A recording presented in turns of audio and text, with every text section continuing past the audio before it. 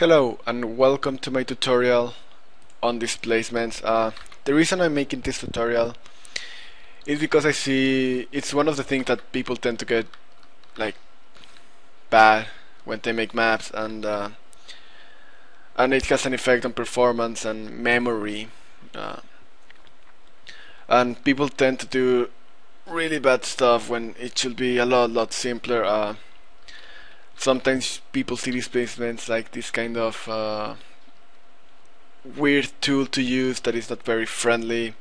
But if you know how to use it it can be very friendly very powerful and very effective um, so I'm gonna start with the basic and then I'm gonna build up from that uh, so first thing first is everything that I have in nodraw it means it's not going to render uh, a face so there is, there is no texture, there is no lighting there, so it saves on memory for the map. Uh, and one important thing is when I make a displacement, so I'm gonna make one quickly.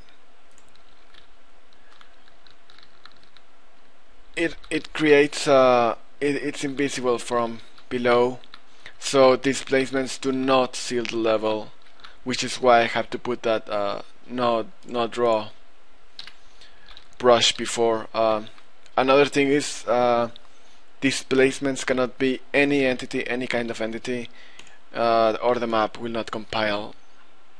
It will tell you there. Uh, so I'm just gonna start simply by lifting off this uh, this brush, creating a copy with shift drag. So I make shift and drag, uh, and you can see it's uh, kinda it's overlapping there but that doesn't matter. And uh, the thing I'm going to do now I'm gonna lift it a little bit more to show you this is uh, the first step is you press shift A bring the faceit edit sheet and uh, select displacement and then you select the face you want to be a displacement uh, very very commonly I see people just uh, selecting the whole brush and then create boom and that's how they edit it and it creates all the sides and it's very very bad.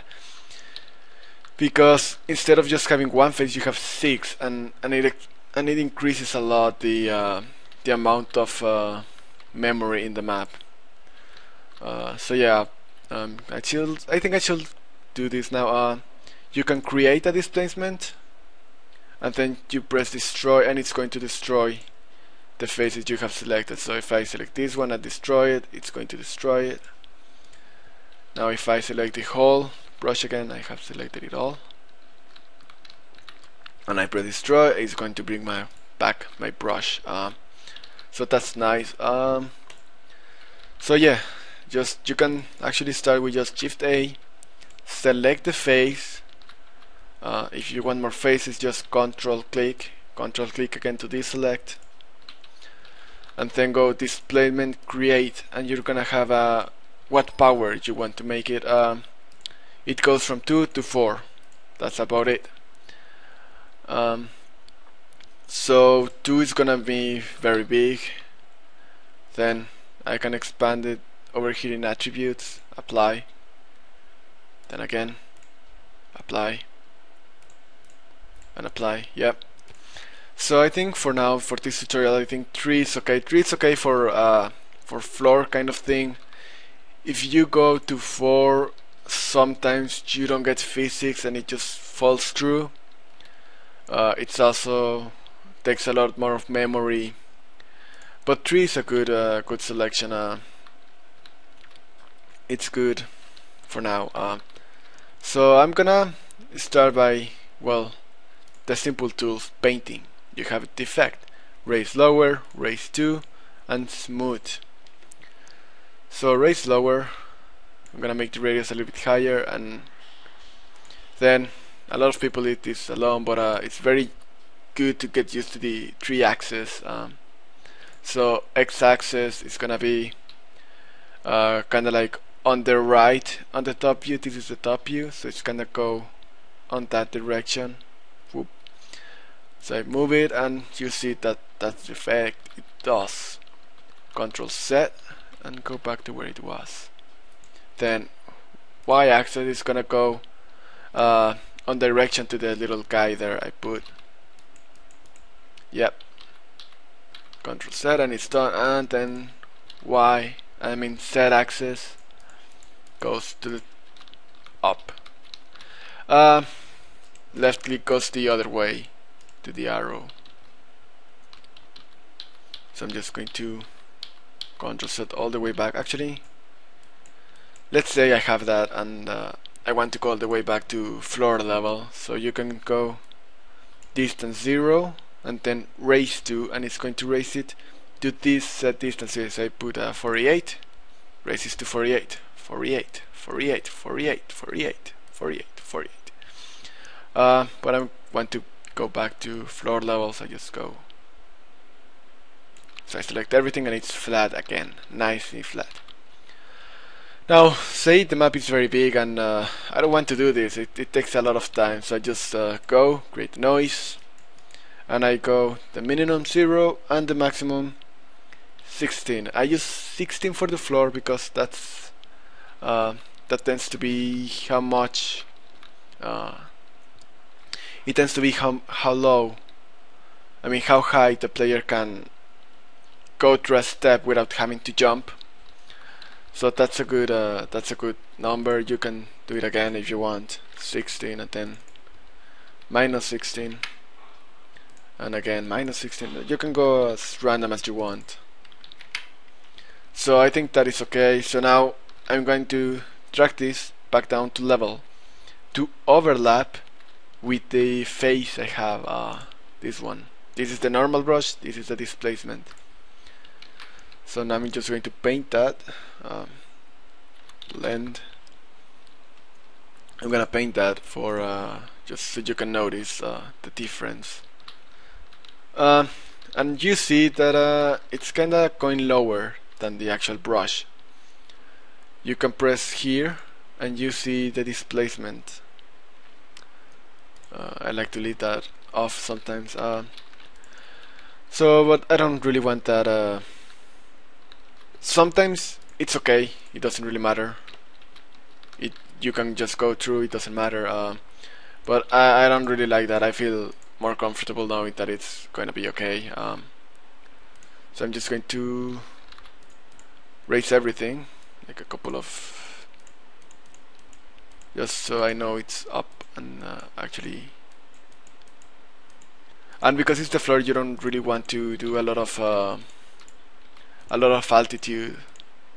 Because even if you don't see it it's uh you you can see even if you don't see it in camera you it is pretty obvious in the game about the height. Um, I can go and simulate this guy and you can see already like it's pretty it's pretty well it's pretty uneven. It's natural.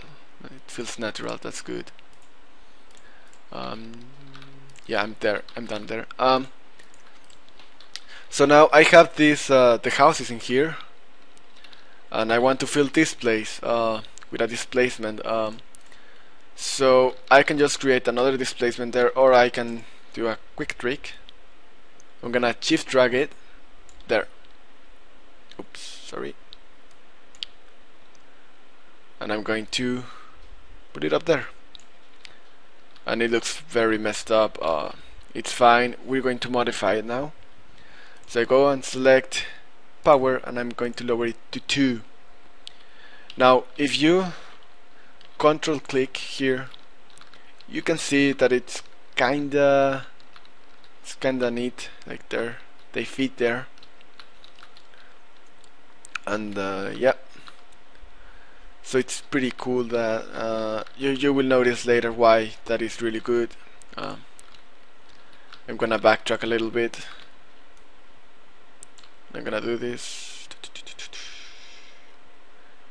I'm gonna do it 26 by 26 when you're working with displacement it's really it's I suggest to just stick to the grid all the time. I'm going to make that a power of 2 and I'm going to make it a lot obvious that it's broken and stuff yeah like that.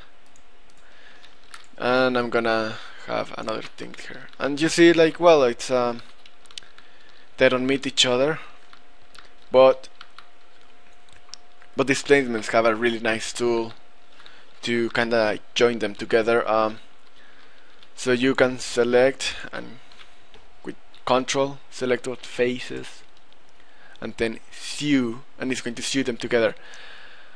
Now there is a there is a limit to what you can do. Uh, as a custom rule uh, if the face is the same power and it's on the same brush height so like here it's gonna sew if I pull this one up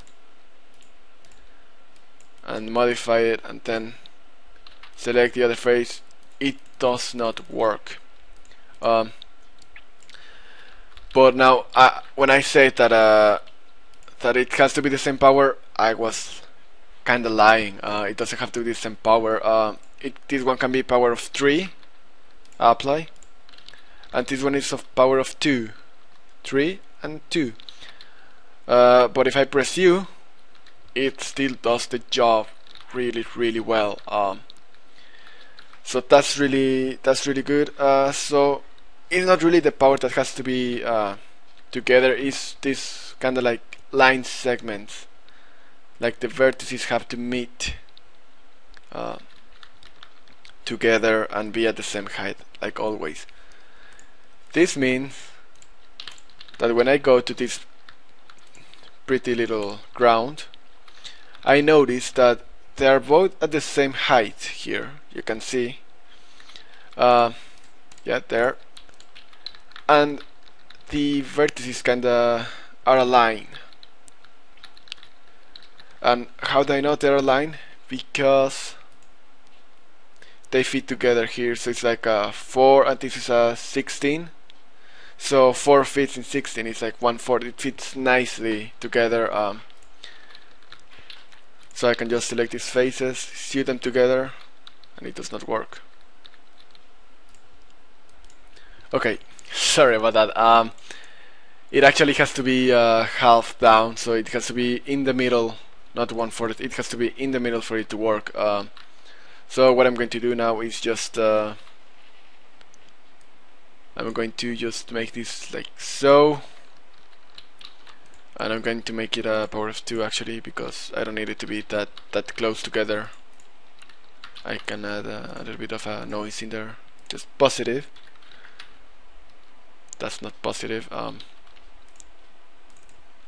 oh I put the negative yeah sorry. Um, and now I can uh, just uh, duplicate this one. This one. And uh, because it's half on this edge so this one meets perfectly. This one is halved. They are all if I select them all of them and sew they all sew perfect. Great. Now I select this one and I place it there. I'm not even gonna rotate it because I like to have the uh, the asymmetry on the ground. So I just select the middle face and sew again. And it fits. This leads to the other part of uh, of uh, displacements. Displacements can be uh, overlapping with uh, with normal brushes with almost no problem at all uh, because it doesn't cut the geometry it doesn't affect the visibility so much so you can just have it there and it looks pretty natural just like a bunch of dirt wood so now I want to paint the road in here. So I'm gonna uh, paint alpha. And I click and I notice that it kinda changes a little bit to some kind of road thing.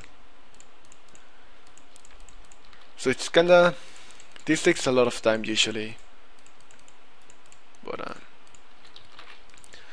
so and it's better to do it uh, natural like uh, like take your time. So it looks natural and good. Um, there is one problem uh, it doesn't have a sew kind of thing so if I select this face and paint it you can see that it's that it doesn't make sense.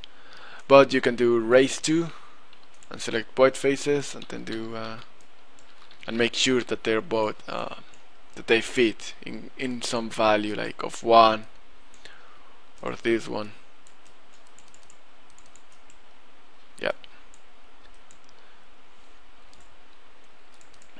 so that's one trick. Um, now in working with cliffs I'm going to do this just so so again I just copy. I'm going to divide it in uh, I'm gonna divide it here. And then I'm gonna copy this one too. No I'm gonna I'm just gonna and then again select the face that you want to be to be a displacement. Create power of 3 power of 2 it doesn't have to be uh, it doesn't have to be too too you know too too much too tight together. Uh, so I'm gonna just increment that and then make like a little bit of a cliff kind of thing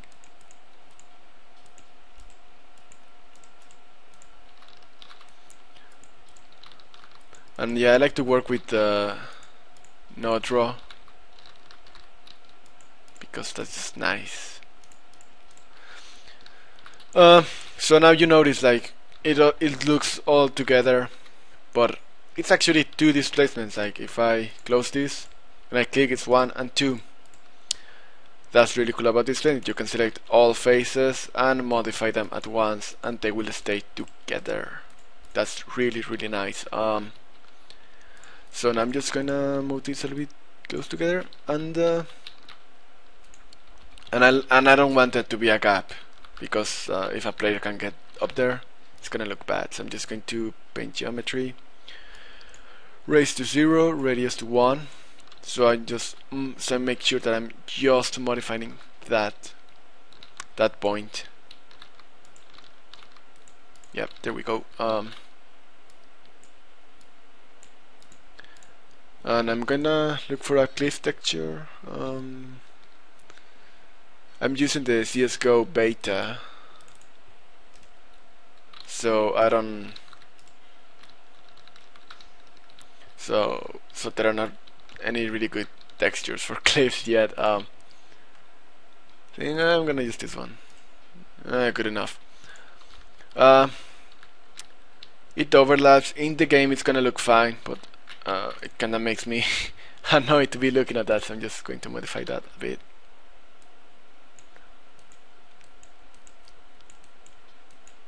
Oh, yeah. Raise to raise lower not raise to yeah there we go. Um, now I want to fill that gap. So I'm just gonna copy rotate it and I have two options. I can resize it or I can just chop it. I'm gonna chop it with the carve tool this one. Select the place where it's gonna chop. Click until I see the white outline to keep that one. Yeah there we go. And you see that it's overlapping. It it doesn't matter for the placement to be overlapping. Um, you can do one trick though which is uh, wait I need to pull this one. There you can do a trick select both placements. Now even you cannot really see them uh, because the brush sides are actually meeting together at this corner. Uh, you can sew them together. This is what it would look like. It looks really ugly. I, I suggest against not doing that um, or you can do the subdivide and it kinda tends to um, tends to kinda like join them together. So you can try like various options with that. You can sew then subdivide just subdivide and then sew I think just subdividing once and just leaving it like it is uh, does a fine job. Now I'm just going to now what I like some uh, I like to have the uh, I like to have on symmetry uh, because of the way it is done uh, I'm just going to make it symmetric so I'm gonna press Ctrl L. And Control L is gonna make a symmetric on the um, if you're looking at the top view on the x-axis Control I it's on the y-axis that's gonna make the symmetry. So I'm gonna make Control I again to bring it like it like so. And it is done there uh, now I have to just face again. Oops.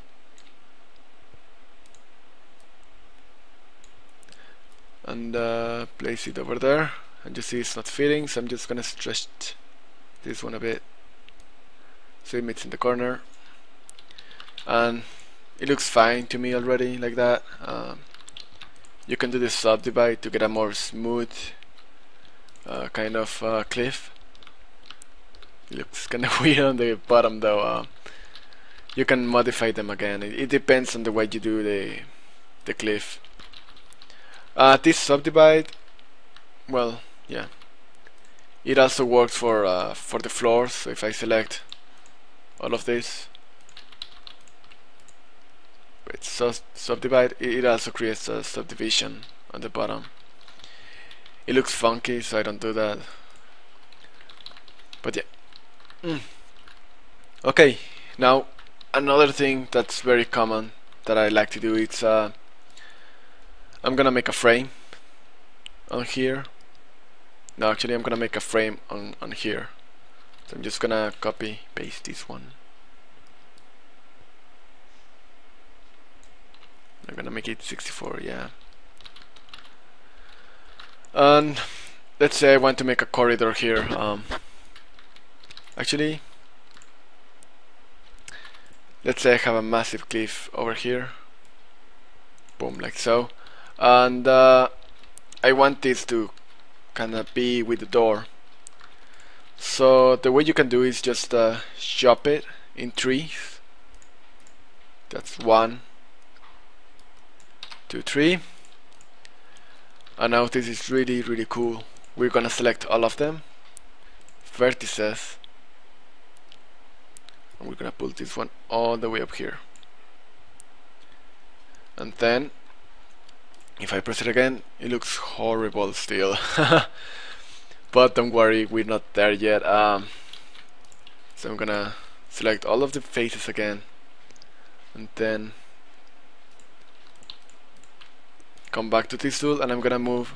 So it's uh, so it has a kind of a, a diagonal line over there so I select this face and I look oh it's from the one in the middle. This one is from the side. This one is from the side. This one is from the one in the middle. Do that. And you say well it still looks pretty bad um, so I tell you oh well fine um, we're just gonna sew them together uh, and we can paint it uh, so I'm gonna raise to zero. The edges. Oops. so now I have the edges over there um, and these edges too I want it to be yeah there we go um, and you said well it still looks really bad.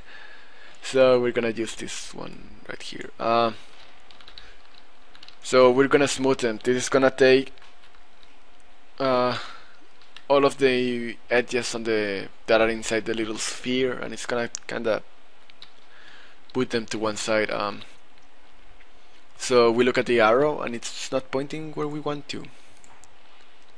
So there we go. And I smooth it up. I can do it pretty big.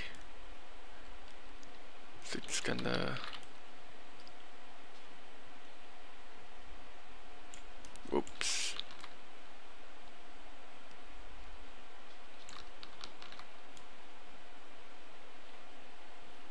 A bit more, a bit more. Let's lower everything. so yeah, at this point I kinda just give up and just uh, doing it manually.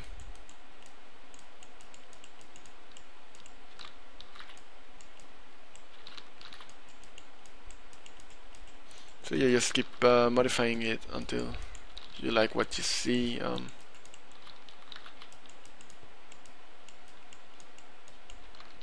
again, it's overlapping on the edge, doesn't really matter just make sure it's inside um, then I see that that's too much in the corners I'm just gonna grab the uh, x-axis and move that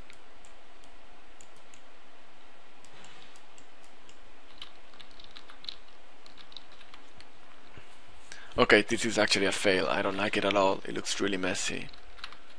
So I'm just gonna destroy it all. Then I'm gonna select it if I can. There we go. There we go. And just select it all. Displacement, create, power of 2. And uh, we can paint it manually or use the uh, use the brush.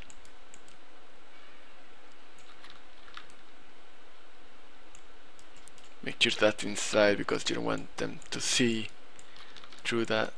I'm gonna pull that a little bit up. Can I get a yeah like that. That's nice. Now we can uh,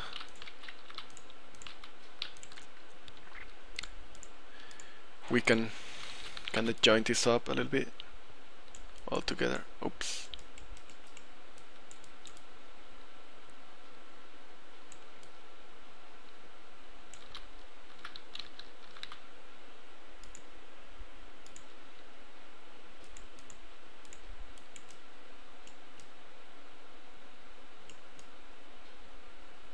like so. This one too. Whoop, boop, boop, boop. Right there, yeah. Z axis. I need it to climb higher, yeah. Try to kind of keep the spaces evenly. So, because otherwise one texture one part is gonna be too stretched and others won't. And yeah, we have uh, like an entrance. Now all you can do is just uh, chop this one like we did already. Make sure it's sealing completely. And there we go. Okay, now to the last part of the tutorial. I'm gonna make a cave. Uh, so what I'm going to do is just uh, select um, the faces here. Um, I'm gonna pull it up, then pull it all the way to the roof, all the way down here. It's going to have to uh, kinda be of the same height of the walls. Sorry. Uh, then just select the faces. Displacement create power of 3 is okay for now. Um, power of 2. Uh, power of 3. Uh, now I want to make a cave, so I make subdivide. Oh, and it doesn't do anything. Why? Because they are not all meeting together. Uh, so I'm just gonna select the displacement, pull it away. And this is just so I can uh, select the displacements easily on the side without them uh, selecting by accident the actual brush that's sealing the level. And now if I do subdivide it does it all well. Uh, you can add a little bit of noise uh, minus 16 let's do 64 no too much. Um, minus 16 minus no wait 16 just that yeah. I copy it there. It's a little bit I'm gonna paint it and then it's a cave. So it's supposed to be like all dirt so I'm just gonna displace invert alpha and it creates a bunch of dirt um, now uh, let's say well I don't want it to be there. I want uh, a corner. So I'm going to do a really cool trick. I'm gonna pull this up all the way to 90 degrees uh, and then gonna create a duplicate. Rotate it. And I'm gonna press Ctrl I. And now it fits perfectly here. Almost perfectly. You can see some uh, little bit of uh, edges. So just press select all the faces and uh, subdivide and it creates a little bit more of a close corner so you can modify your brushes. Or you can press U. And it will look a lot more straight but uh, a little bit closer to what your edges are. Uh, next thing I will do I'll just uh, make sure they are not inside the actual brush that's sealing the level because that's me. Although it should be fine when you compile it